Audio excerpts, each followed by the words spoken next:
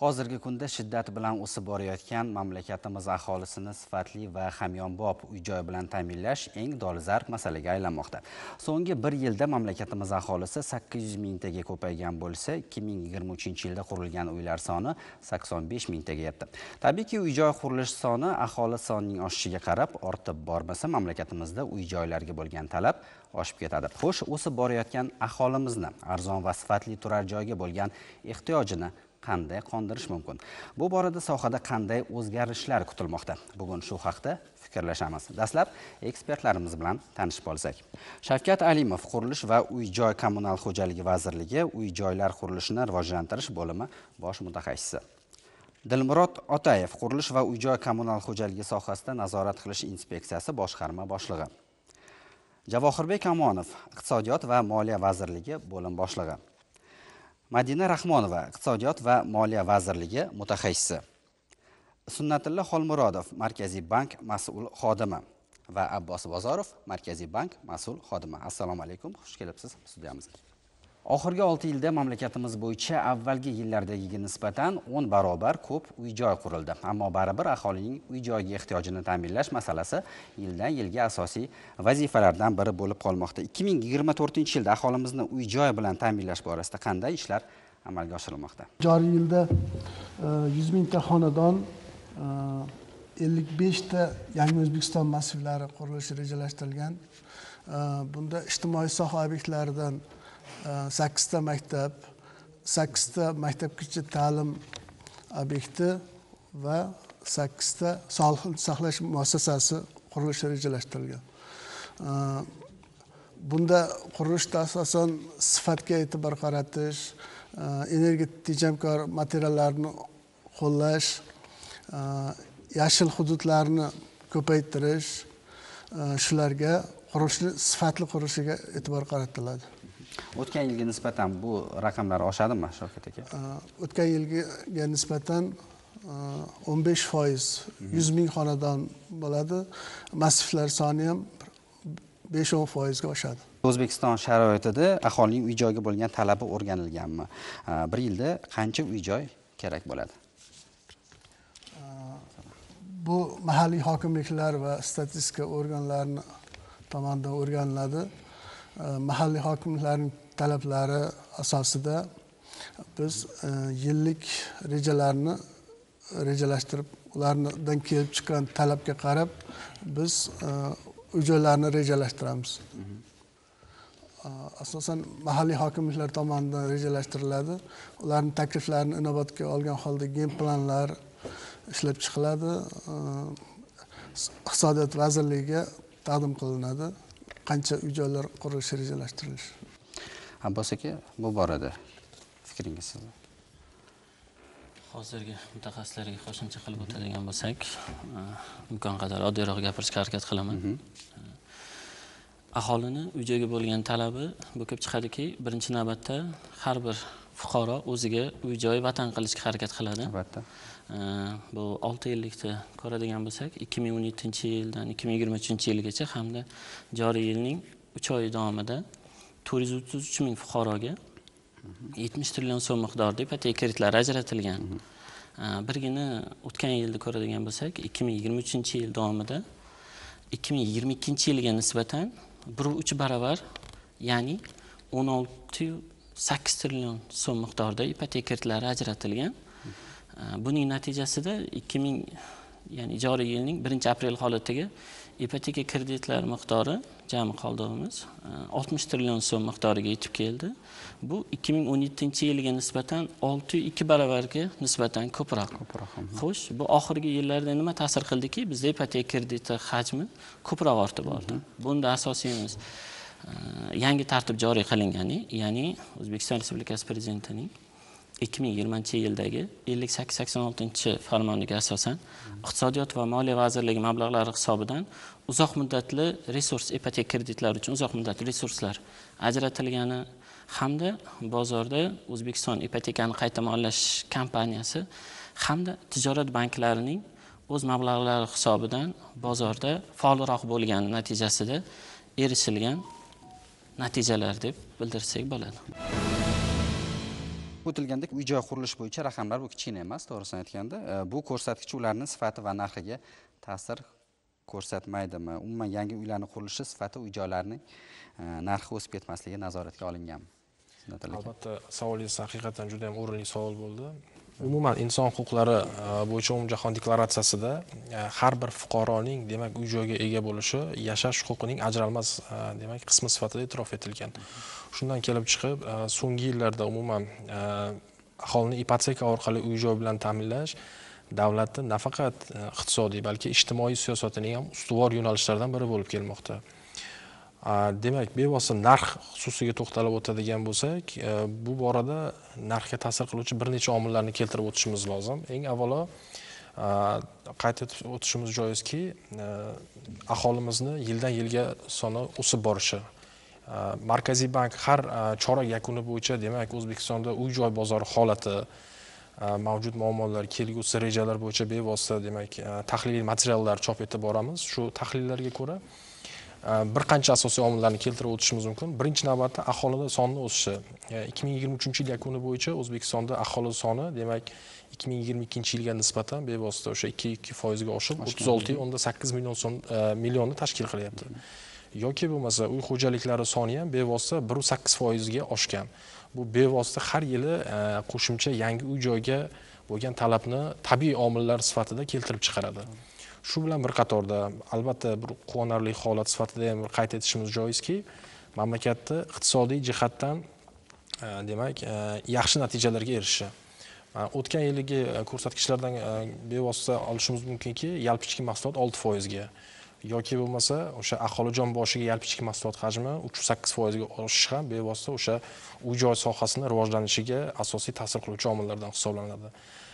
Bevosita yana narxga ta'sir qiluvchi keyingi omillar sifatida aholi daromadlarini o'sish tendensiyasini ham kuzatishimiz mhm. mumkin.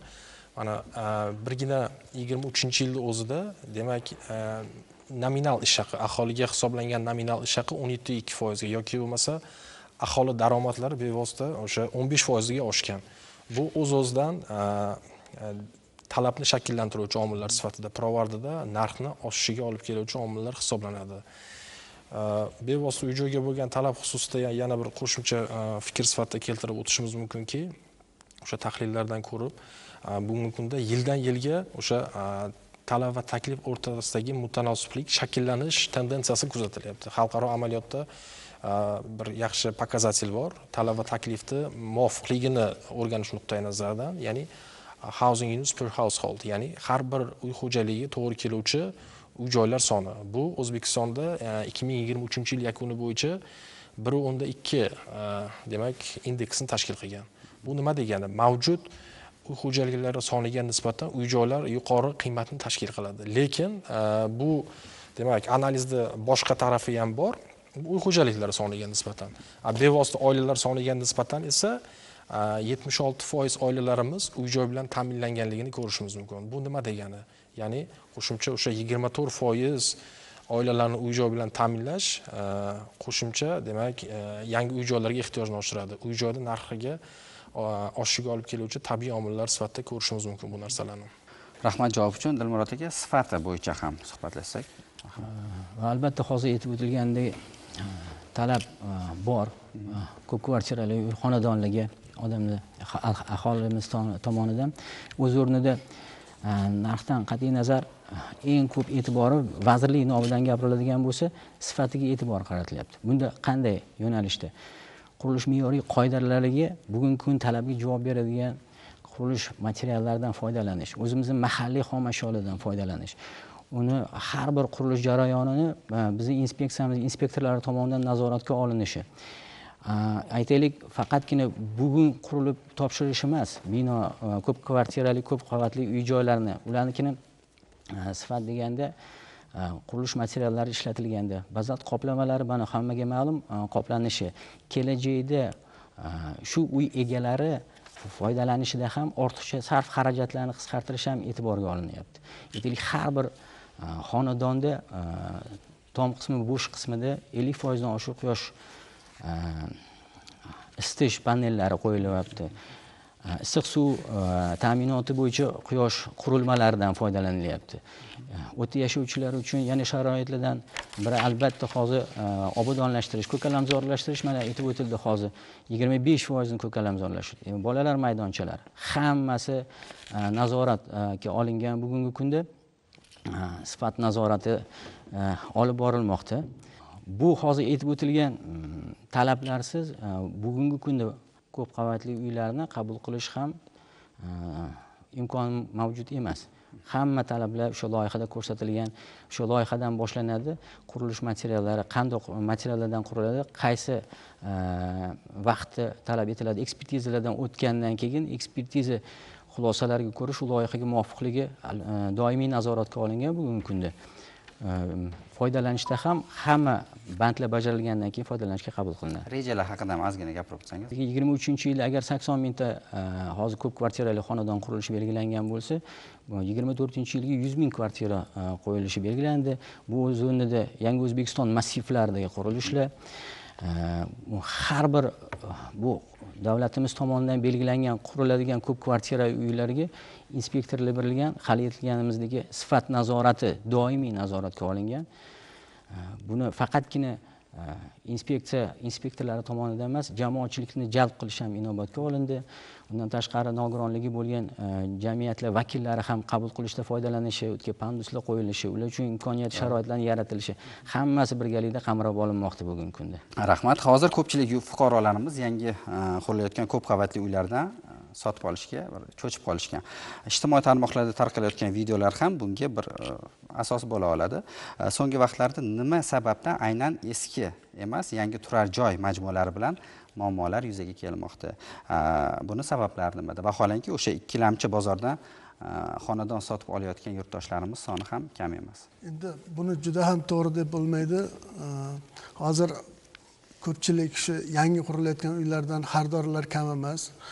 Narxlari narxlari biroz qimmatroq yangi qurilayotgan uylarni lekin ayrim tadbirkorlar uylarni oxirigacha sifatli bajarmagan hollar bitta ikkita uchragan. Bo'lgan bunday voqealar buning oqibatida ayrim televideniyalarga chiqishlar ayrim odamlarda to'rt besh foiz odamlarda ishonch yo'q. Hozir buni ustida sifat ustida qurilish vazirligi inspeksiya qattiq nazorat ishlarini olib boryapti. Hozirgi uylarimiz monolitdan ko'proq qurilmoqda. Monolit juda mustahkam baquvvat aholimizni chorlab qolamiz. Yangi uylarga zilzila bardoshligi to'liq ta'minlanmoqda. Qancha muddatda bir tekshiruvdan o'tkazilyapti dilmurod aka? Qo'shimcha aytmoqchiman olti yil bu e, o'zbekiston yangi taraqqiyot bosqichiga o'tgani qisqa muddat. Unda tadbirkorlik subyektlariga ko'plab e, imtiyozlar e, yo'nalishlar berildiki shu jarayonda quruvchi kompaniyalarimiz ham ko'payib ketdi. Qurilishlarimiz talab darajasiga yetishiga shu zarur edi bizlar uchun. Bugungi kunda mana biza har yili prezident farmon qarorlari vazirlar mahkamasini qarorlari bilan qurilish yo'nalishida yengilliklar kiritib boriladi. Bugungi kunda mana hozir hamkasbim aytib o'tganlaridek sifatiga man e, to'xtalib o'tmoqchiman. Qurilish me'yoriy qoidalariga. Ha bizada deyarli har kuni tegishli o'zgartirishlar kiritilmoqchi. Aytib o'tganidek hukumat qarorlari prezident farmon qarorlari bilan e, bu qurilishlarga talablar qo'yilmoqda. Aytaylik ko'p kvartirali uylarni toifalariga bo'lib berilgan to'rtinchi qavatdan o'n birinchi qavatgacha uchinchi toifa o'n ikkinchi qavatdan yuqorisi to'rtinchi toifa bu ham vazirlar mahkamasining qarori bilan tartibga keltirilgan. To'rtinchi toifadagi obyektlar bir oyda to'rt marotabagacha ko'rilishi mumkin. Uchinchi toifadagilari esa uch martagacha nazoratda bo'lishi mumkin. Bu o'z yo'nalishida e, doimiy muntazam nazoratni e, joriy qilinganligidan dalolat berishi mumkin. Undan tashqari bu e, ko'p kvartirali uy joylarni qurilishida loyiha tashkilotlari uchun reyting ballari belgilangan.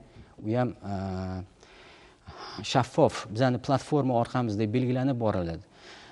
Ma'lum bir reytingga ega bo'lgangina loyiha tashkiloti bunday uylarni loyihalashtirilishi mumkin.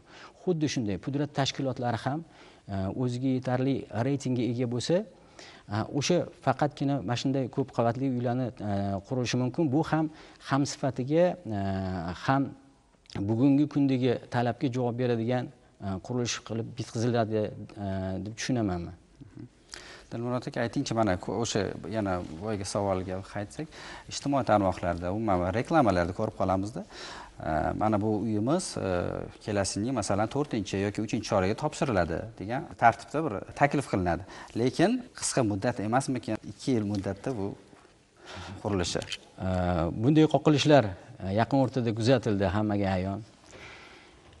Ommaviy axborot vositalarida tadbirkorlik subyektlarimiz o'zini biznesini rivojlantirish uchun ko'proq daromad ko'rish maqsadida ham bu yo'lga qadam qo'yganlari bor undan tashqari biz aholimizni ham e, bu sohadagi ilmlarni mana shunaqa ko'rsatuvlari bilan bizni boyitib boradigan bo'lsak e, kafolatlanmagan uyga pul tikilishini oldini olgan bo'lardik.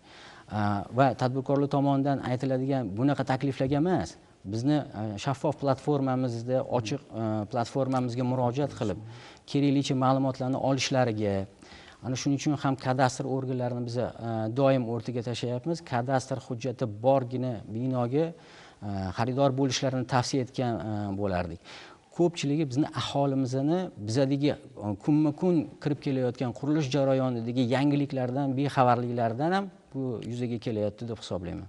Shu o'rinda mazkur masalada biroz e, qo'shimcha sifatida aytib o'tishimiz joizki e, fuqarolarimizga iltimos qilgan bo'lardikki uy joy xarid qilishdan oldin eng avvalo e, mazkur uy joy qurilishi uchun belgilangan qonunchilikda belgilangan tartibda pudrat tashkilotini yer joyga egalik huquqi. Yerni hujjatini ya'ni. Shu bilan bir qatorda loyiha ekspertiza hujjatlari bevosita mavjudligi ekspertizadan o'tganligi muhim ahamiyat kasb etadi. Agarda fuqarolarimiz e, bu borada birlamchi o'zini haq huquqini talab qilib moliyaviy savodxonligini bosqichma bosqich oshirib borishga e'tibor qaratadigan bo'lsa bevosita o'sha ijtimoiy tarmoqlarda yuzaga kelayotgan har qanday o'sha ko'ngilsiz voqealarni ham oldini olgan bo'lardik. Shuningdek yana bir narsani iltimos qilgan bo'lardikki shartnomaviy munosabatlarda ma'lumki shartnomaviy munosabat ikki tomonlama bo'ladi. Fuqaro o'zini haq huquqini batafsil tanishib chiqishi maqsadga muvofiq hisoblanadi. Ya'ni shartnomada uy joy qurilishi muddati demak yakunlanishi va foydalanishga topshirilishi aniq ko'rsatilgan bo'lishi maqsadga muvofiq hisoblanadi. Agarda bu muddatdan o'tgan holatda pudrat tashkiloti tomonidan qoplanadigan jarima penalar belgilanganmi shartnomada agarda bularga alohida e'tibor qaratadigan bo'lsa э, o'ylaymanki э, yuqorida ta'kidlab o'tganimizdek nojo'ya xatti harakatlarni oldi olingan bo'lardi fuqarolar tomonidan ham. Rahmat sunnat akaga javob uchun. Э, xohlaymizmi yo'qmi? Shavkat aka dilmurod aka sohada korrupsion holatlar uchrab turibdi. Bunga bir qanday yechim izlanyapti? O'sha haqida ham gaplashsak korrupsion holatlarni oldini olish maqsadida e, shaffof tizim yaratilgan. E, loyiha tashkilotlari ham e, loyiha hujjatlarini elektron tarzda yuborilishi qurilish obyektlarini ro'yxatdan o'tkazish ham elektron tarzda amalga oshirilishi shaffof. Obyektni nazorati ham hammasi elektron platforma shaffof tarzda olib borishga yo'naltirilyapti. Bu o'z o'zidan haligi korrupsiyani oldini oladi. Yana bir dolzarb muammoga e'tibor qaratsak uy joy qurib berishni va'da qilgan quruvchi va bunga to'lov qilgan aholi o'rtasida e, tez tez e, nizoli vaziyatlar uchrab turibdi. Ushbu muammoli vaziyatlar qanday hal qilinmoqda? Shu haqida ham suhbatlashsak e, bu masalada hozir farmon loyihasi ishlab chiqiladi ulush kiritish asosida mm, uy joylarni qurish bo'yicha bu farmonda o'sha yo'l qo'yilgan kamchiliklarni bartaraf etish choralari ko'riladi. Ikki tomonlama e, shartnomaviy munosabat bo'lgandan keyin e, tomonlar e, uni ish bajaruvchisi ham bunga buyurtma berganlar ham har bir bandi bilan tanishib chiqishlari lozim. Bundagi bandlar bajarilmagandan keyin bu mojarolar faqatgina sud yo'li bilan hal qilinishi mumkin. Shu tartib to'g'ri bo'ladi. Aka bormi qo'shimcha? Qo'shimcha sifatida qisqacha gapirib o'tsak bo'ladi. Yuqorida ta'kidlab o'tgandek haqiqatdan ham o'sha farmon loyihasi tayyorlanish jarayonida. Ya'ni ulush kiritish asosida qurilayotgan uy joylarni tartibga solishga qaratilgan. Mhm. birinchi navbatda o'sha fuqarolarni mablag'larni xavfsizligini ta'minlashga ya'ni bundan keyingi e, dasturlar davomida biz alohida e'tibor berib o'tamiz. E, qurilayotgan uy joylarni demak ulush kiritish asosida fuqarolarning mablag'lari bevosita o'sha uch tomonlama shartnomalar doirasida himoya qilinadi. Ya'ni bu yerda e, demak sotib oluvchi fuqaro bank hamda bevosita uy joy quruvchi pudrat tashkilotlari o'rtasida. Ya'ni belgilangan muddatlarda qurilish jarayonni amalga oshirilishidan kelib chiqib fuqarolarning pul mablag'lari demak tijorat banklari tomonidan E, qurilish etapidan kelib chiqib bosqichma bosqich o'tkazib boriladi. Bu o'z navbatida o'sha fuqarolar tomonidan e, demak e, hozirda ba'zi holatlarda yuzaga kelayotgan ko'ngilsizlik holatlarini ya'ni o'zini mablag'larini xavfsizligini ta'minlash bilan bog'liq muammolarni oldini olishda muhim ahamiyat kasb etadi. Ikki ming yigirma uchinchi yil e'lon qilingan prezident farmoniga muvofiq ipoteka kreditlari va subsidiyalarni ajratish tartibiga bir qancha o'zgartirishlar kiritildi. Shu haqida ham ma'lumot bersangiz. Savol uchun rahmat. ikki ming yigirma uchinchi yil o'n uchinchi aprelda ellik birinchi sonli prezident farmoni tasdiqlandi. U farmonga ikki ming yigirma ikkinchi yilga nisbatan o'zgartirishlar kiritilgan. Bu e, oldin subsidiya xabarnomasi bir yil muddatga amal qilgan bo'lsa hozir to'rt oyga qisqargan. Bu e, subsidiya xabarnomasi oluvchi fuqarolarga qulaylik yaratilish maqsadida e, uy joy bilan ta'minlanadi. Bunda e, so'nggi oxirgi to'rt yilda e,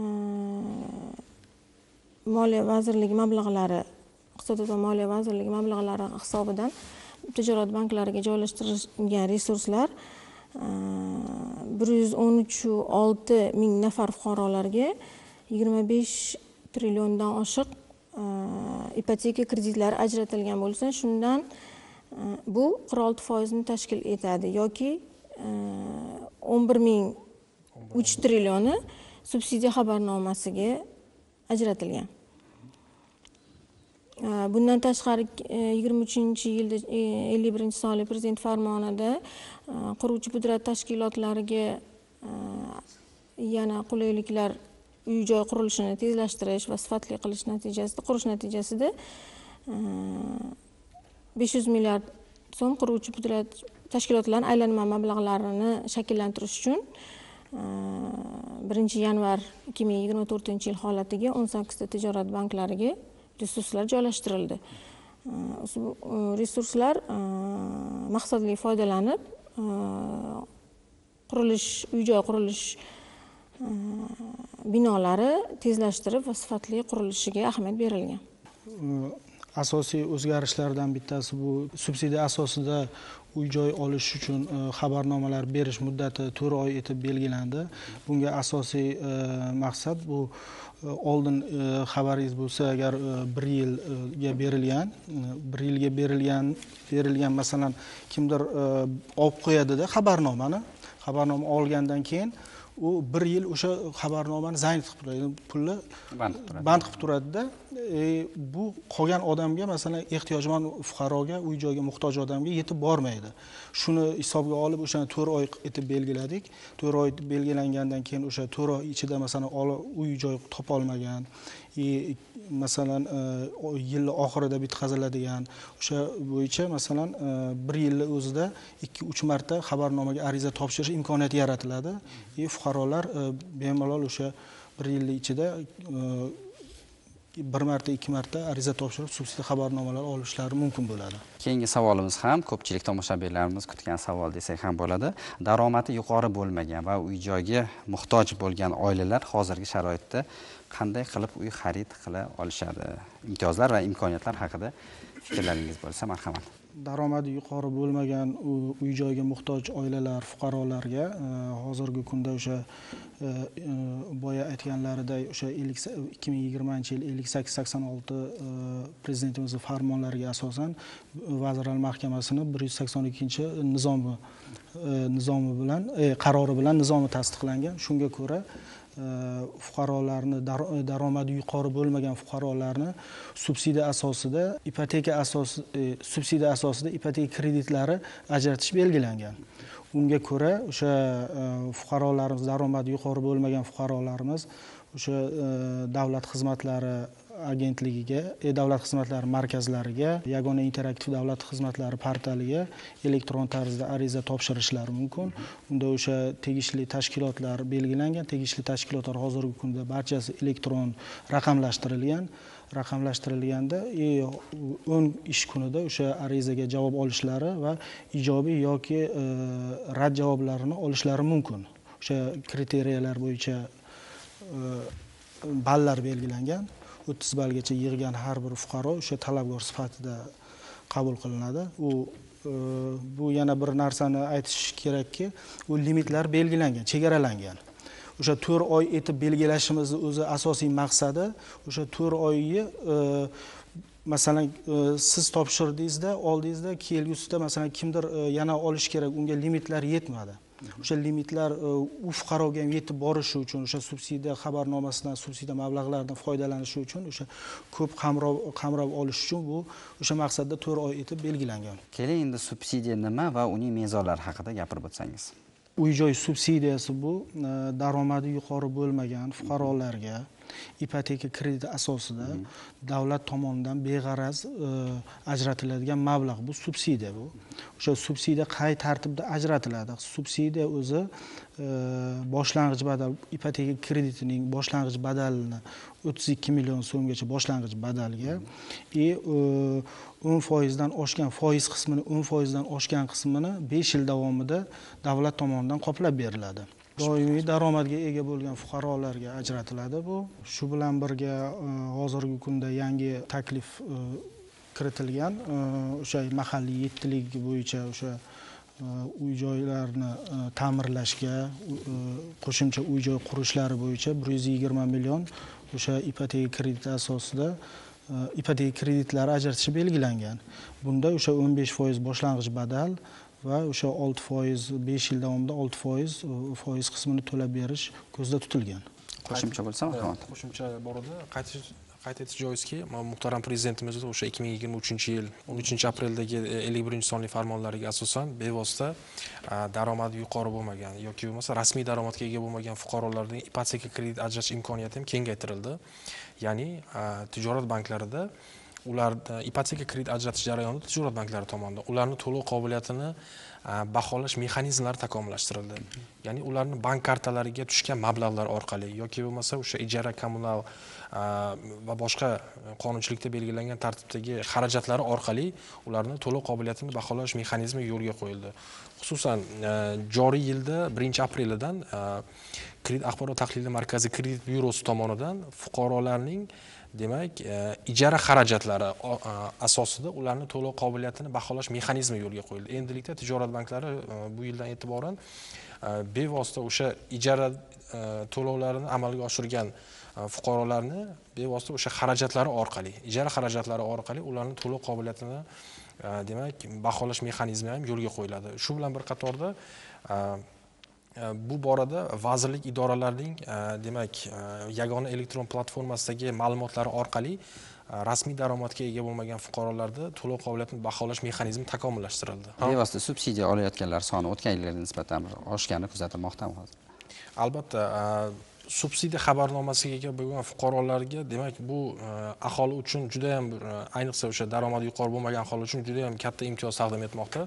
Bu o'z navbatida e, raqamlarga to'xtalib o'tadigan bo'lsak so'nggi to'rt yilda hamda joriy yilda uch oy davomida umuman yangi tartib doirasida ya'ni o'sha iqtisodiyot moliya vazirligi tomonidan tijorat banklariga joylashtirilgan resurslar hisobidan ya'ni yangi tartib deymiz jami bir yuz o'n uch o'nda olti ming nafar fuqarolarga yigirma besh o'nda olti trillion so'm miqdorida ipoteka krediti ajratiladigan bo'lsa ularning qirq olti foizi yoki bo'lmasa o'sha o'n bir o'nda uch trillion so'mi bevosita subsidiya xabarnomasiga ega fuqarolarga ajratilgan kreditlar hissasiga to'g'ri keladi.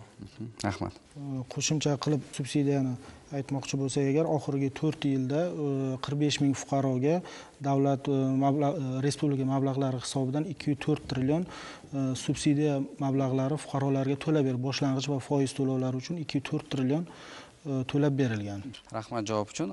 Ayrim hollarda fuqarolarga subsidiya mablag'i ajratilmoqda lekin uning oylik maoshi berilgan o'sha kredit mablag'larini qaytarishga yetarli emas degan vaj bilan uy olishga bir rad javobini ham rad javob ham berilmoqda. Bunday hollarda fuqarolarimiz nima qilishlari kerak? Albatta bu borada masalalar qonunchilikda o'z aksini topgan. Muhtaram prezidentimizning ikki ming yigirma birinchi yil to'qqizinchi dekabrdagi o'ttiz uchinchi sonli farmonlariga asosan demak subsidiya xabarnomasiga ega bo'lgan fuqarolarimiz birgalikda qarz oluvchi yoki kafil sifatida ipoteka kredit ajratish jarayonida yaqin qarindoshi bo'lmagan boshqa shaxslarni ham bevosita tijorat banklariga hujjatlarni taqdim etishlari mumkin bo'ladi. Ya'ni rasmiy daromadga ega bo'lgan o'zini daromadi yetmagan taqdirda yaqin qarindoshi bo'lishi shart emas. Boshqa shaxsni daromadidan demak qo'shimcha kafil yoki birgalikda qarz oluvchi sifatida foydalangan holda ipoteka kredit olish imkoniyatiga ega bo'lganlar fuqarolarimiz. Subsidiya e, asosida ariza topshirilganda o'sha e, tegishli tashkilotlar asosan bu kadastr e, kadastr agentligi soliq qo'mitasi tomonidan o'sha elektron platforma orqali ballar beriladi. Bunda asosan soliq tarafdan daromadi bo'yicha er xotinning oilasining e, daromadlari hisoblanadi. И kadastr agentligi tomonidan beriladigan xulosa bu. Uy joyi bor yo yo'qligi bo'yicha xulosa beriladi. Shunga asosan o'sha tegishli o'ttiz ballni olgandan keyin asosiy tashkilotlarda bu o'sha e, asosiy tashkilotlardan ball yig'gandan keyin o'sha ijobiy xabarnoma belgilangan tartibda beriladi va o'sha uy joy olish uchun bankka murojaat qilishlari qurilish pudrat tashkilotlariga murojaat qilishlari mumkin. Daromad bo'yicha o'sha e, ballar e, berilishida o'sha toshkent shahrida ikki yu yetti e, mehnatga haq to'lashning ikki yu yetti baravaridan to'qqiz yuz ikki baravarigacha qoraqalpog'iston respublikasi va viloyatlarda ikki yu yetti mehnatga haq to'lashning ikki yu yetti ikki yu yetti baravaridan sakkiz baravarigacha etib belgilangan shunga asosan o'sha ballar beriladi. Javohir aka subsidiya olishda bir muammolar ham kuzatilmoqdami? O'sha haqida ham gapirib o'tsangiz marhamat. Albatta subsidiya olishda o'sha ariza topshirishlarda muammolar mavjud. Masalan birgina o'tgan yilni ikki ming yigirma uchinchi yilni tahlil qilib ko'rganda o'sha uch yuz ellik mingga yaqin e, fuqarolardan e, subsidiya asosida uy joy olish uchun ariza kelgan bo'lsa o'shalardan e, yuz mingga yaqini daromadi yo'q. И kadastr nomida uy joyi bor. Fuqarolardan asosan o'sha fuqarolardan arizalar kelib tushgan. Bu esa o'z navbatida o'sha arizalarni muddatda ko'rib chiqish buzilishiga yo'l qo'yadi и yana ularga bir rad javob beriladi shunda rad javob rad javob beriladida lekin nima deydi arizalarni ko'rib chiqish ketma ketligi bor bu yuz mingta ariza degani bu yuz mingta arizani ko'rib chiqish avtomat bu bir vaqt talab qiladi. И u yoqda komissiya e, raisi bor e, belgilangan o'sha tuman e, hokimi shahar hokimini birinchi o'rinbosari tuman komissiya har bitta arizani ko'rib chiqishiga to'g'ri keladi. Bu esa o'sha yuz mingta fuqaro o'zi bilmagan holatda nima bu subsidiyani o'zi nimaligini bilmasdan arizalar topshirish olib kelmoqda. Do'stlaridan qo'ni qo'shnilardan eshitib. eshitib turib ariza topshirish topshirmoqda ko'pchilik. Qisqacha e, qo'shimcha qilib o'tadigan bo'lsak e, asosiy e, fuqarolar duch kelayotgan muammolardan biri daromadiga mos uy joy narxi ya'ni uy joy topishi topishi bu yilgi davlat muhtaram prezidentimiz tomonidan ikki ming yigirma to'rtinchi yilgi davlat ipoteka dasturi doirasida yuz mingga yaqin uy joy foydalanishga qurib topshirilishi demak belgilanmoqda.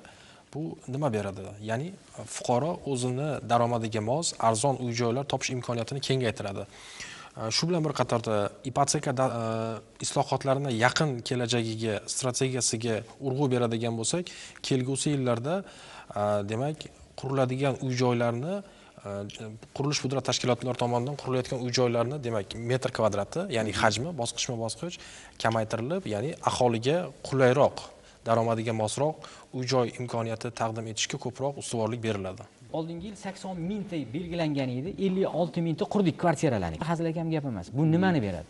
Ertaga mana hozir e, ehtiyojmand aholini ko'proq qamrab olishga yetishiga imkoniyat yaratiladi. Bitta agar shaharda aytaylik bitta pudrat tashkilotiga murojaat qilinayotgan bo'lsa buni natijasida ko'proq tanlovga asos bo'ladigan kvartiralar paydo bo'ladi. Mana mana shuni muammo qilib ko'rsatsa bo'ladi. Javob uchun rahmat. Aytingchi sunnatulla aka uy joy narxlari o'sishi tendensiyasi o'sha narx pufagini shakllanishi va uning iqtisodiyotga xavfini oshirmaydimi? Shu haqida ham gaplashsak. Juda ham o'rinli savol bo'ldi. So'nggi vaqtlarda bu mavzular ijtimoiy tarmoqlarda ham ko'p muhokamalarga sabab bo'lmoqda qaysidir ma'noda qisqacha qilib aytadigan bo'lsak birinchi navbatda uy joy umuman narx pufagi nimaligiga to'xtalib o'tishimiz joiz narx pufagi bu o'sha uy joyga bo'lgan talab va taklif o'rtasidagi nomutanosiblik natijasida uy joylar narx demak o'sish tendensiyasini davomiy davom etishi hamda keskin tushib ketishiga qaratilgan demak tushuncha deb atasak bo'ladi narx pufagi nima uchun xavfli birinchi navbatda o'sha uy joy narxlari ya'ni narx pufagi yorilganda uy joy narxlarining bozor qiymati uni demak garov qiymatidan bankda garov qiymatdan tushib ketishi bevosita tijorat banklarining moliya barqarorligiga ta'sir qilishi mumkin. Bugungi kunda qanchalik narx pufagi xavfli degan masalani oydinlashtirib ketishimiz lozim. Birinchi navbatda davlatimiz tomonidan narx pufagini umuman narxni shakllanishini oldini olishga qaratilgan bir qancha demak tartib va mexanizmlar ishlab chiqilgan va bu demak amalda qo'llanib kelinmoqda. Eng avvalo o'sha yangi tartib deb gapirdik. Ya'ni o'sha iqtisodiyot moliya vazirligi mablag'lari hisobidan ajratiladigan ipoteka kreditlarni bir qarz oluvchiga demak beriladigan ipoteka kreditining yuqori chegarasi belgilangan. Sodda qilib tushuntiradigan bo'lsak besh yuz million so'mlik uy e, narxi bo'lishi mumkin. Lekin toshkent shahrida e, bir qarz oluvchiga ajratiladigan ipoteka kreditining yuqori chegarasi to'rt yuz o'n olti million so'm. Ya'ni uy joy qiymati ertaga e, keskin tushib ketganda ham bu bevosita o'sha bozor qiymatini garov qiymatidan tushib ketishini oldini oladi. Ya'ni o'sha banklarda risk oldi olingan demoqchimiz. Shu bilan bir qatorda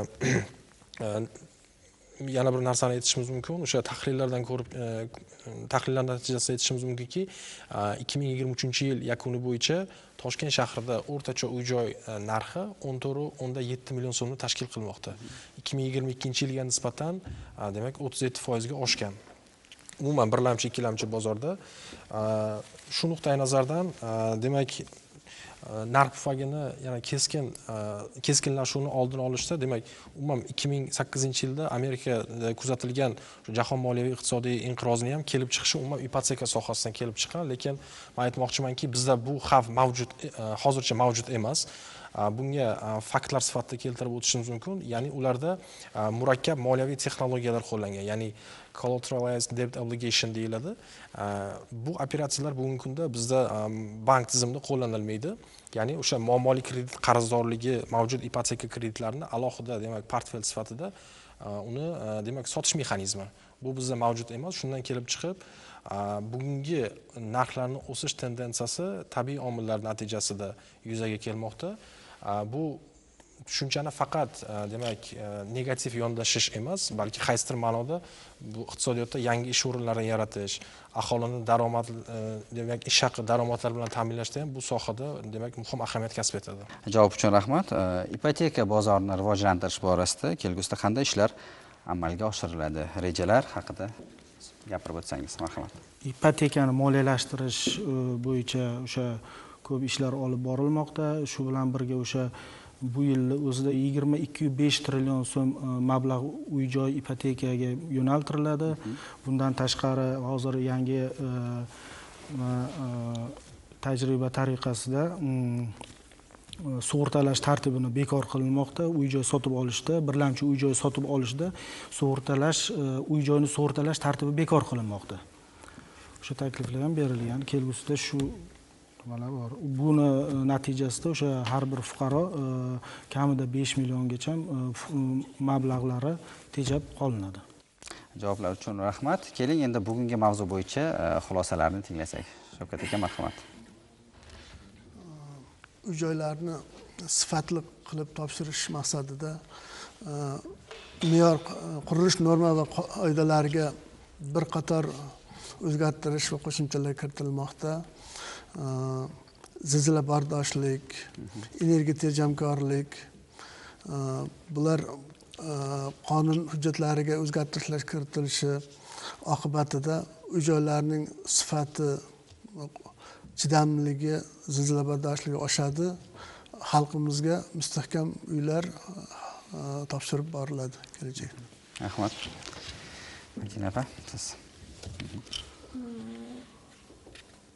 xulosa shundaki ko'proq aholiga aholini uy joy bilan ta'minlash arzon uy joy arzon uy joy bilan ta'minlash amalga oshirishlar bilan birgalikda davlat dasturlari orqali tasarruf tasarruf qilinadigan ipoteka kreditlarining jozibadorligini oshirish maqsadga muvofiq deb hisoblaymiz. Marhamat abbos aka ko'rsatuvimizdan shuni xulosa qilishimiz mumkinki birinchi navbatda fuqarolarimizda bo'layotgan asosiy muammolar bu subsidiya xabarnomasi bo'yicha qanaqa qayerga murojaat qilishi bu bo'yicha mana johir aka ta'kidlab ketdilar. Ya'ni oylik daromadiga bo'lgan talab qancha? To'g'ri. Hamda qurilish vazirligidan vazirligidan ham aytib ketdilarki ya'ni bugungi kunda uy joylar qurilish soni ko'payganligi va bu joyda arzon uy joylar ko'payganligi shu bilan birga e, rasmiy daromadga daromadi yuqori bo'lmagan fuqarolarimiz uchinchi shaxs kafilligini olishi va fuqarolarimizni e, moliyaviy savodxonligi oshishiga ko'maklashdi degan umiddamiz. Yaxshi xulosa chiqarishlari va o'zlariga bo'lgan aytilgan farmonlarni ham bir sira o'zlari uchun o'qib chiqish menimcha o'zlariga maqsadga muvofiq bo'ladi. Rahmat. Sunnat aka sizda ham manimcha qo'shimcha bor. Albatta xulosa o'rnida ta'kidlab o'tishimiz e, mumkinki e, ipoteka sohasidagi islohotlar demak e, davlatimiz tomonidan faol ravishda davom ettiriladi. Kelgusi yillarda biz bosqichma bosqich ipoteka bozorini rivojlantirishda budjet mablag'lari umuman davlat resurslariga bo'lgan bog'liqlikni kamaytirish ustuvor vazifa etib belgilangan. Xususan o'sha kapital bozori to'g'risidagi qonun loyihasi tayyorlanmoqda. Mazkur demak qonunchilikka o'zgartirish kiritilgandan keyin bevosita Э, o'sha ipoteka qimmatli qog'ozlari yoki bo'lmasa sekuritizatsiya э, mexanizmlarini yo'lga qo'yish orqali demak э, bu bozorni jozibadorligini yana oshirishga xizmat qiladi. Shuningdek demak uzoq muddatli resurslarni jalb qilishda tijorat banklari uchun ipoteka krediti ajralishda mazkur moliyaviy mexanizmlar muhim ahamiyat kasb etadi kelgusi yillarda. Rahmat. Ko'rsatuvimizda ishtirok etganingiz uchun o'zimiz va tomoshabinlarimiz nomidan minnatdorlik bildiramiz rahmat. Aytish mumkinki bugun o'zbekiston ulkan qurilish maydoniga aylandi. Buni ushbu sohaga yo'naltirilayotgan mablag'lardan ham ko'rishimiz mumkin. Ahamiyatlisi bu ishlar izchil davom ettirilib joriy yilgi dastur doirasida yuz mingta uy joy qurish rejalashtirilgan. Mutasaddilarga qurilish tannarxini pasaytirish va uylar sifatini yaxshilash bo'yicha topshiriqlar berildi. Davlatimiz rahbari bu sohada aholi va quruvchilar uchun qator yangi imkoniyatlar berilishini ma'lum qildi. Bu esa yillar davomida ijarama ijara sarson sargardon yurgan ming minglab insonlar qalbiga ishonch tuyg'usini olib kirmoqda. Demak yangi taraqqiyot davri yangi qurilishlar bilan davom etadi. Biz esa bu mavzuga yana qaytamiz. Hozircha xayr salomat bo'ling.